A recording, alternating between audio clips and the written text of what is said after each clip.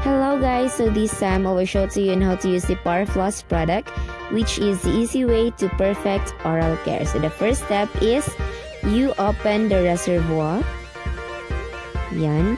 And then the next step is you fill it in with water up to the maximum level which is indicated in the product. Yeah, that one. The maximum level. Alright, so you close it.